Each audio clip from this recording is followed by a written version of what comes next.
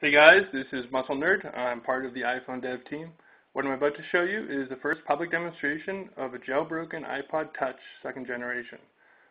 Uh, here's the plan for the demo. I'm going to first uh, show you and describe the basic problem that a jailbreak has to overcome.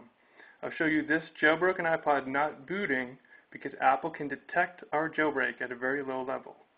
But then I'll apply our patch called Redsn0w, which overcomes Apple's checks.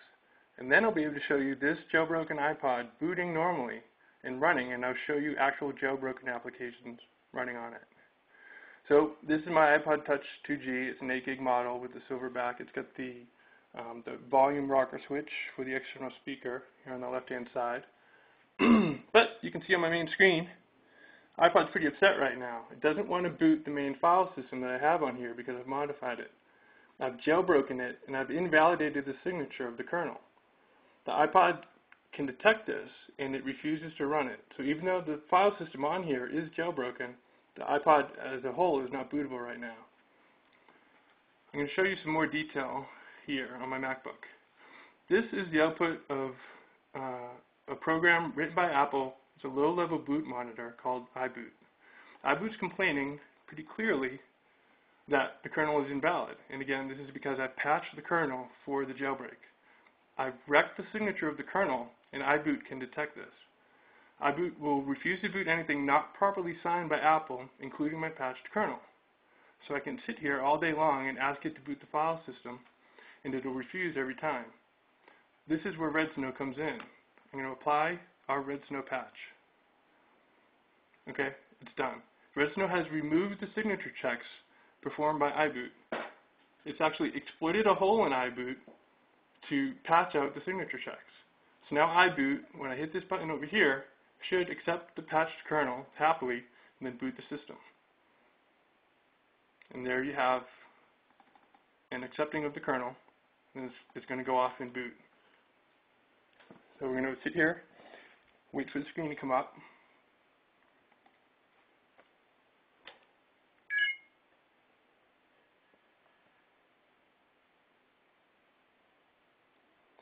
And I'm going to walk through a few applications that you can't normally get from the Apple App Store, and I'll show you the jailbreak.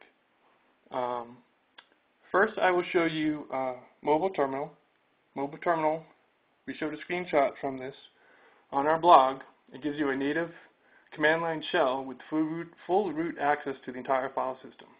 Apple normally prevents that kind of access in any of the applications that you can get from the App Store. I'm going to show you Cydia now. Cydia is one of the two main installers that you get non-App Store apps from on any jailbroken system.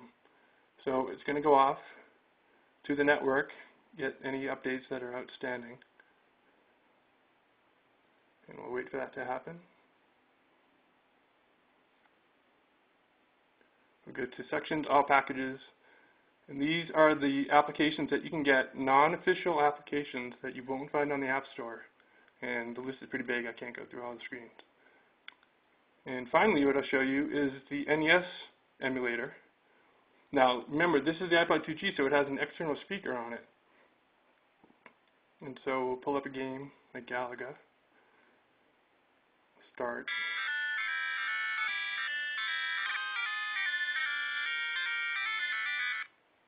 Now, again, a game emulator is not the kind of application that you'll see Apple accept into the App Store. But you can get it through Cydia you can hear on the external speakers. Um, okay, so now let me describe the problem that we have yet to solve. This problem is preventing us from releasing an easy-to-use jailbreak program today, right now.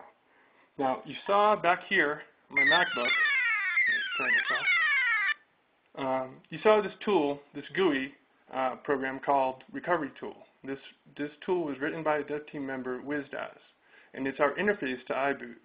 It allows us to talk to iBoot and apply the Redsn0w patch in RAM to get past the signature checking.